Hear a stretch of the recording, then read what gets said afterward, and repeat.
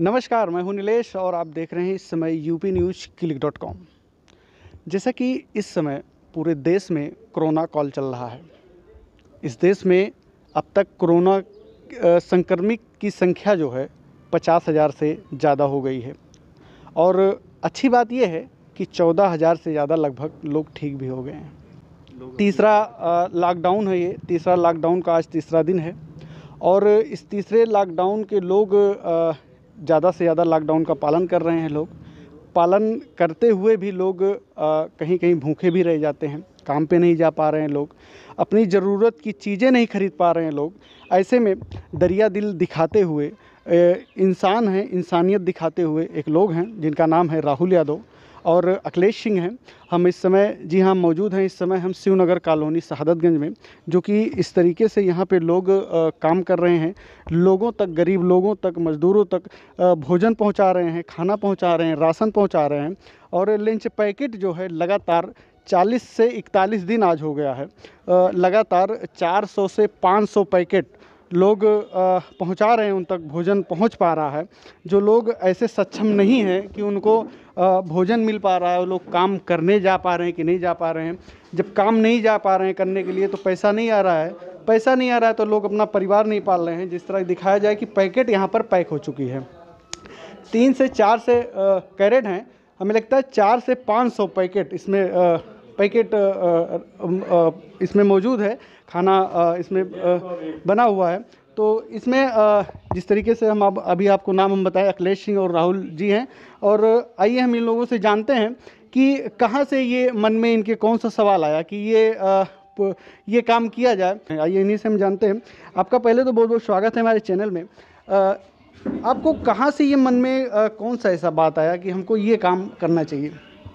नीलेश जी, सबसे पहले आपका धन्यवाद करते हैं और सभी देशवासियों को नमस्कार करते हैं हाथ जोड़कर कि वो अपने घर में रहें, सुरक्षित रहें और जैसा कि पूरा देश हमारा इस लॉकडाउन का पालन कर भी रहा है और लगातार हमारे करोना वॉरियर्स हमारे पुलिसकर्मी हॉस्पिटल के नर्सें डॉक्टर्स और हमारे देश के आर्मी के जवान, सरहद पे हर जगह हमारे देश की सुरक्षा कर रहे हैं।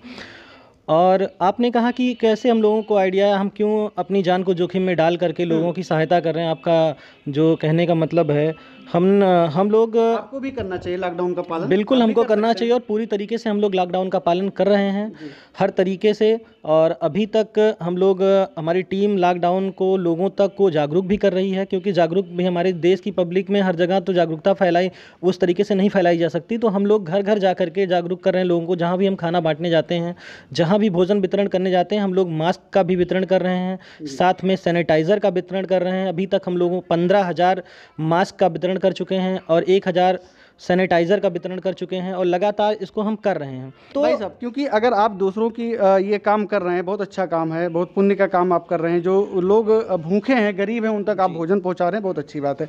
अच्छा क्या ये सिर्फ़ मजदूरों के लिए ही है या और भी वर्ग लोगों के लिए? इसमें कोई जात पात का तो कोई मतलब है नहीं, नहीं। हमें सिर्फ़ इसमें देखना है कि परेशान कौन है भूखा कौन है। बिल्कुल। तो ऐसे में पर डे कितने लोगों को ये लंच पैकेट दिया जाता है? अभी तो डेली हम लोग 550 लोगों को का लंच पैकेट बनवाते हैं। किसी दिन दाल चावल बनवाते हैं किसी दिन सब्ज़ी पूड़ी बनवाते हैं किसी दिन कढ़ी चावल बनवाते हैं किसी दिन पनीर की सब्ज़ी बनवाते हैं यानी कि जो सात दिन का हमारा मीन्यू है आठ दिन का वो अलग अलग है। डेली का कुछ अलग अलग ये नहीं कि हम एक ही मीनू को रोज़ परोसते हैं। लगातार चालीस दिनों से हम लोग अलग अलग मीनू को परोसते हैं।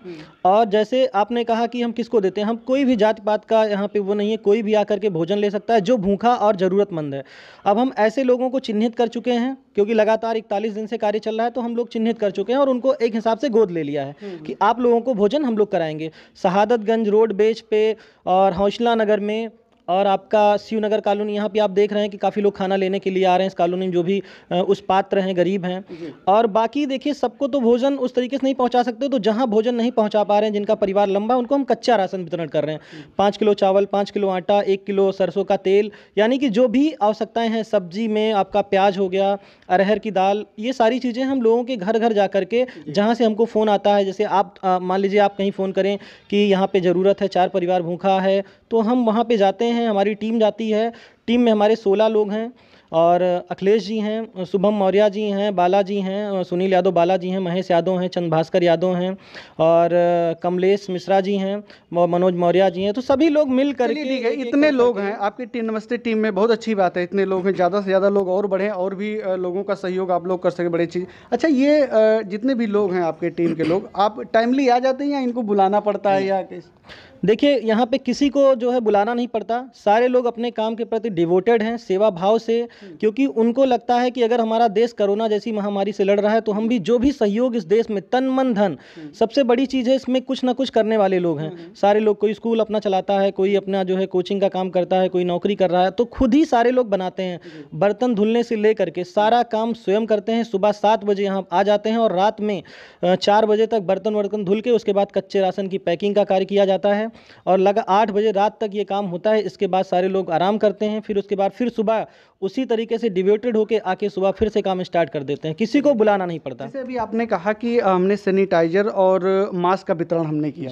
क्या सिर्फ़ आम लोगों को ही किया या जैसे कुछ ऐसे भी लोग हैं सफ़ाई कर्मी हॉस्पिटल में चले गए या फिर पुलिस हो गई हमारी इनको भी आप कहीं इनको वितरण किया? बिल्कुल आपने सही फरमाया। हम लोग पुलिसकर्मी को शहादतगंज चौकी रोडवेज़ और आपके प्रशासन में एसडीएम साहब के माध्यम से एक हज़ार लगभग पीस डीएम साहब के माध्यम से पाँच सौ पीस और बाकी गाँव में जा कर के रायपुर में फतेहपुर में आपका और और मिर्ज़ापुर में कई गाँव में जा जा कर के लोगों को मास्क का वितरण और सैनिटाइज़र का वितरण किया गया रोड बेज पे वितरण किया गया और लगातार करने का इरादा है और हमेशा करते रहेंगे। अखिलेश जी आपसे एक क्वेश्चन है हमारा कि जिस तरीके से आप ये समाज सेवा कर रहे हैं जिस तरीके से भूखे लोगों को आप भोजन दे रहे हैं बड़ी अच्छी बात है।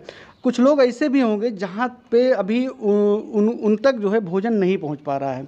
उनके बारे में आप क्या सोचें? उन तक कैसे पहुँचाया जाए जी, पहले तो धन्यवाद आपका यूपी न्यूज़ क्लिक की तरफ़ से, ठीक है? ये आपने जो क्वेश्चन पूछा है कि उन तक भोजन कैसे पहुँचाया जाए तो उसके लिए भी हमारी टीम मेहनत करती रहती है। तो उसमें यह है कि हमारी टीम मेंबर्स जहाँ भी जाते हैं, वहाँ पहले एक बार सरसरी निगाह से देख लेते हैं, कोई ऐसा नीडी आदमी मिल जाता है, क्या उसको भोजन की ज़रूरत है या और किसी चीज़ की ज़रूरत है, दवा है, पानी है या कोई भी ऐसा चीज़ जो उसको नहीं मिल पा रहा है तो वहाँ हमारी ये कोशिश रहती है कि उसको वो चीज़ मुहैया कराई जाए।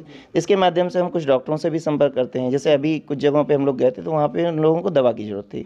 तो हमने अपील की कि कुछ डॉक्टर जो निस्वार्थ भाव से हमारी सेवा करना चाहते हैं, इन परिस्थितियों में तो सामने आ सकते हैं। अच्छा इसी के साथ में हमारी ये भी अपील रहती है कि जो हमसे जुड़े हुए लोग हैं या नहीं भी जुड़े हुए लोग हैं, जो हमारी पोस्ट को देख रहे हैं, वो अपने क्षेत्र में ऐसे लोगों को मतलब चिन्हित करें, उनकी मदद करने की कोशिश करें।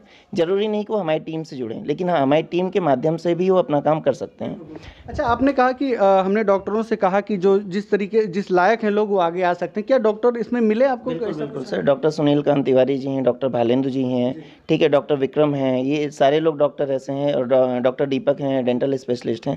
तो ये सारे लोग मतलब इन्होंने आश्वासन भी दिया और साथ में हमारी मदद भी करते रहते हैं। ये टेलीफोनिक माध्यम से हम उनसे कंसल्ट करते हैं कि हाँ ऐसी ऐसी प्रॉब्लम है तो वो जनरली जो उनको प्राइमरी मेडिसिन है वो अपना वो बताते हैं उसके माध्यम से हम उन लोगों को वो मेडिसिन मुहैया अच्छा इसे प्रशासन लगातार बार बार ये कह रही है कि भीड़ इकट्ठा ना करें जिस तरीके से हो सके अकेले में ही ये जो भी काम करना है आप करिए। अच्छा आप लोग जब जाते होंगे तो साथ में ही जाते होंगे तो प्रशासन की तरफ़ से आपको कहीं रोक ऐसा को रोका तो सर बेसिकली तो हम सोशल डिस्टेंसिंग का फॉलो तो ज़रूर करते हैं ठीक है? साथ में जाते हैं ज़रूर हैं लेकिन एक गाड़ी में जो सोशल डिस्टेंसिंग का नॉर्म्स बना हुआ है कि एक गाड़ी में दो लोगों से ज़्यादा ना जाएँ तो हम भी वही कोशिश करते हैं कि एक ड्राइविंग सीट पर रहते हैं दो लोग पीछे रहते हैं ठीक है? तो ये फॉलो हम करते रहते हैं। बाकी यहाँ जो टीम मेंबर्स हैं सोलह सत्रह अट्ठारह जो भी आ जाते हैं वो टीम मेंबर्स यहाँ पे पूरी मदद अपनी करते रहते हैं। बाद में जो आपका भोजन डिस्ट्रीब्यूशन का काम है, वो भोजन डिस्ट्रीब्यूशन का काम तीन चार लोग अलग अलग रूप में जाके अपना उसको निस्तारित करते हैं। लास्ट क्वेश्चन आप दोनों से और है। ये बताइए कि आप तो काम कर ही रहे हैं कि ज़्यादा से ज़्यादा और क्या करना चाहते हैं आप लोग जिससे जो लोग अभी भी कुछ लोग हैं नहीं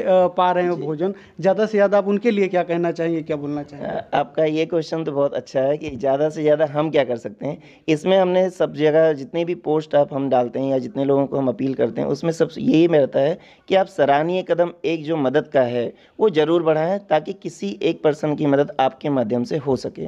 तो पहली अपील यही रहती है कि आप ज़रूरी नहीं कि किसी भी क्षेत्र में आपके लोकलाइड एरिया में जो भी जानवर हैं जो भी पशु पक्षी ऐसे रहते हैं या फिर जो भी ऐसे नीडी पर्सन हैं ज़रूरतमंद हैं जिनको इन सामानों की ज़रूरत है तो आप कोशिश करके एक आदमी की मदद आप करिए।